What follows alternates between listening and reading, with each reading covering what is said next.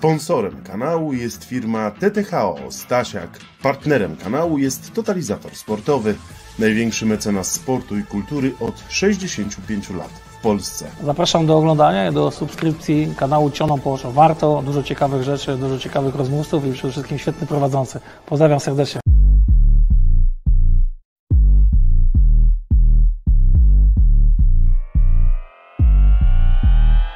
Stadion przy ulicy Limanowskiego w Częstochowie. Najważniejszy dwumecz w historii Rakowa ze Slawią. Zwycięstwo w tym dwumeczu postawi projekt Rakowa Częstochowa w zupełnie nowym położeniu. Będzie faza grupowa Ligi Konferencji, będą fantastyczne mecze i jesień w europejskich pucharach. Czy to możliwe? Możliwe, ale na mecz ze Slawią trzeba wyjść z sercem, z pomysłem taktycznym, ale przede wszystkim nie przestraszyć się. I oby tak było. Subskrybujcie, lajkujcie kanał Cioną po oczach. To dla Was niesamowite kulisy z tego spotkania.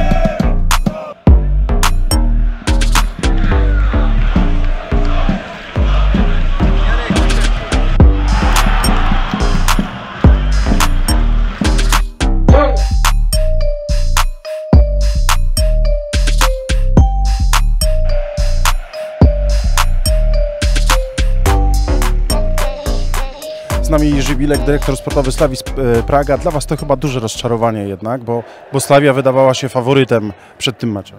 Tak asi nemyslím, že jsme, že jsme byli favoritem. My máme větší dosvědčení eh, v, evropsk, jako v evropských pohárech, ale my jsme věděli, že eh, Rakov je bardzo mocný zespół i, i pokazali to a dzisiaj zasłużnie wygrali. E, Peter Olejnka miał chyba problem coś e, z, z głową, tak? Bo chyba zszedł. Oskar, sorry. E, Duże osłabienie to było, że ten zawodnik akurat zszedł?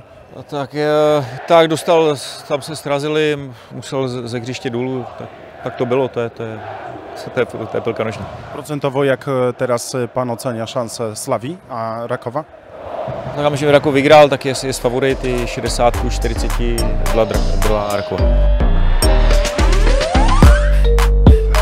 Z nami Patryk Kun, bohater, jeden z bohaterów Rakowa, bo tak to trzeba powiedzieć. E, Gratuluję, bo e, Slavia to niezwykle trudny przeciwnik e, z ogromnym doświadczeniem w europejskich pucharach. Ale to połowa drogi, tak? Bo marzeniem jest jednak gra e, w grupie. Dokładnie, jest, jest dwumecz. y, Tutaj dzisiaj zrobiliśmy pierwszy krok. y, Dobry wynik 2-1. Trochę szkoda tych sytuacji, gdzie tam mogli- mogliśmy podwyższyć na 3 do 1, ale, ale no jest dobra zaliczka i po prostu też już jakby skupiamy się na kolejnym meczu. Też y, mówię tak twardo samym po ziemi, bo, bo po prostu to jest dwumecz, to jest piłka nożna i trzeba być po prostu przygotowany na wszystko. Ja tak obserwowałem trenera Papszuna, to on nigdy nie jest zadowolony, ale to jest fajne, bo e, czuł, że trzeba zdobyć jeszcze jedną bramkę, a najlepiej zrobić 3-1, no bo to już jest bezpiecznie, tak? E, Trzeba iść po te kolejne bramki. Nie, dokładnie, no dobrze się czuliśmy, też mi się daje dobrze to wyglądało pod, pod każdym względem w obronie i w ofensywie, wiadomo, błędy były, bo, ale to jest piłka nożna, błędy zawsze będą się zdarzały, ale po prostu też byliśmy dobrze nastawieni, graliśmy odważnie, myśmy się też z piłką dobrze, dobrze jakby to kontrolowaliśmy, mało, mało gdzieś strat, gdzieś dobrze, dobrze jakby odpowiadaliśmy na tą agresję Slawii Praga i i tworzyliśmy tę sytuację. No zawsze, zawsze jest niedosyt, bo jak, jak były sytuacje i trochę nie, nie strzeliliśmy, to zawsze ta skuteczność może być lepsza i ten wynik mógł być lepszy, ale też graliśmy po prostu ze Slawią, to jest klasowy, klasowy przeciwnik i też trzeba docenić ten wynik. Peter Olejnka powiedział, że są mocni. Niesamowicie przed chwilą z nim a rozmawiałem, szczególnie środek pola. Byli zaskoczeni po prostu. E, Widać to po nich. Nie, no, z tego się cieszymy. Byliśmy dobrze nastawieni, chcieliśmy grać, pokazać swoją grę, pokazać swoje DNA i wydaje, że to, to, to tak, tak, tak to wyglądało na boisku i te sytuacje stwarzaliśmy. Graliśmy jak Raków i, i po prostu wygraliśmy i to jest najważniejsze. Vamos Raków, w Pradze trzeba zaatakować? E, Na pewno, no, nie możemy się na pewno cofnąć, bo, bo to może się skończyć dla nas, bo, bo to jest klasowy zespół i też pokazał, że z piłką też potrafią grać.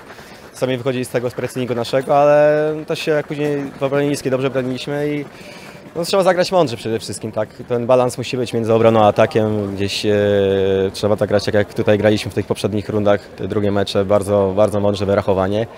i na pewno nie możemy się cofnąć, no bo to dla nas źle się skończy, bo po prostu to jest klasowy, klasowy przeciwnik i prędzej czy później by to bramkę nam strzeli. Mm, Możemy jeździć na szczęście, ale lepiej temu w szczęście pomóc i po prostu atakować i też, e, też, też sytuację stwarzać i oddalać e, akcje na, na, na pole przeciwnika.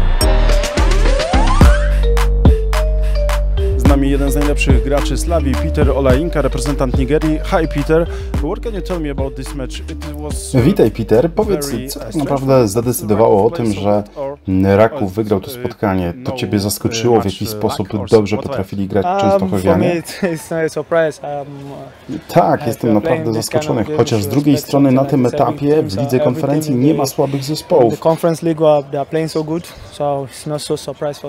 W czym szczególnie Raków e, Cię zdziwił? Znakomitą grą w obronie, czy też jeżeli chodzi o atak? Wiesz co? Tak naprawdę są silni bardzo w środku i to jest ich duża e, zaleta. W ogóle grają bardzo dobrze. Niemniej uważam, że chyba ten mecz jest e, tak naprawdę, ten dwumecz jest otwarty. Jak myślisz? Zdecydowanie w Pradze musimy zagrać jednak znacznie, znacznie lepiej, jeżeli chcemy w ogóle awansować w tym dwumeczu, ale tak jak powiedziałeś, to jest piłka, jest wszystko otwarte i zrobimy w Pradze wszystko, żeby awansować dalej. Peter, wiesz co, jestem wielkim fanem nigeryjskiej drużyny narodowej już od wielu, wielu lat. Powiedz, co się z wami stało? Dlaczego nie awansowaliście do Mistrzostw Świata? Wiesz co, naprawdę trudno jest odpowiedzieć na to pytanie. Wydaje się, że po prostu to jest tak, że to jest piłka. Ja wiem, że to jest słowo wytrych, ale z drugiej strony myślę sobie tak, każdy chce chwycić swoją szansę, żeby zagrać na Mistrzostwach Świata. No nam się po prostu nie udało. Jest to tym bardziej dziwne, że macie przecież znakomitych y, piłkarzy i świetną historię, y, która stoi za wami. O tak, zdecydowanie jest Kelechi, jest Iwobi i wielu, wielu innych y, zawodników. Także wydaje mi się, że, że kiedyś będziemy wreszcie mocni. Powiedz, czy według Ciebie najsilniejszą reprezentacją Nigerii była ta z 98 roku? Wiesz co, niewiele o tym wiem tak naprawdę, ale sądzę, że kiedyś też będziemy mocni.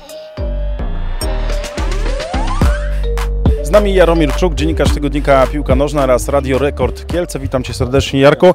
Możemy być szczęśliwi. E, Zwycięstwo 2 do 1 Rakowa i to w meczu z trudnym przeciwnikiem, w którym Raków był naprawdę niezły. Tak, Raków był niezły, chciał grać piłkę, chciał strzelać bramki, chciał stwarzać sytuację, miał jeszcze świetną okazję na 3 do 1 i na pewno tak jak mówił tutaj dyrektor sportowy Slawi Praga, na zwycięstwo zasłużył, pokazał walory ofensywne i nie jest bez szans na, na dobry wynik w rewanżu i awans do kolejnej fazy, czyli już fazy, fazy grupowej. To byłoby coś niesamowitego, wielki krok do przodu w historii Rakowa, ale myślę i naszej piłki.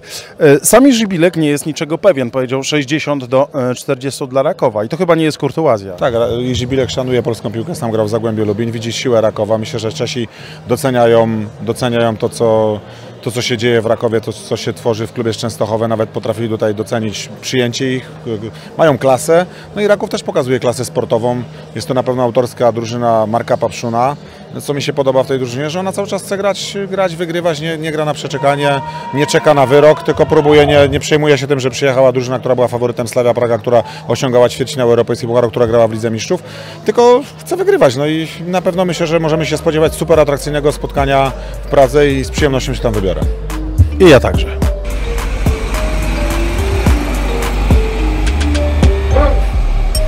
Wielki dzień w historii Rakowa, ale jeszcze nie ten historyczny, najważniejszy. Ten będzie dopiero, jeżeli uda się w dwumeczu pokonać Slawię, ale już Raków dokonał czegoś wielkiego. Kto by stawiał na to, że tak naprawdę Slavia będzie momentami bronić się rozpaczliwie? Było blisko do trzeciego gola, który gwarantowałby jeszcze lepszą pozycję Rakowa przed rewanżem. Ale cieszmy się z tego, co mamy. Cieszmy się z punktów, cieszmy się z kolejnego zwycięstwa i mam nadzieję, cieszmy się z polskiej jesieni z udziałem Rakowa w Lidze Konferencji. Do zobaczenia w kolejnych odcinkach Cioną po oczach. Subskrybujcie, lajkujcie, bądźcie z nami.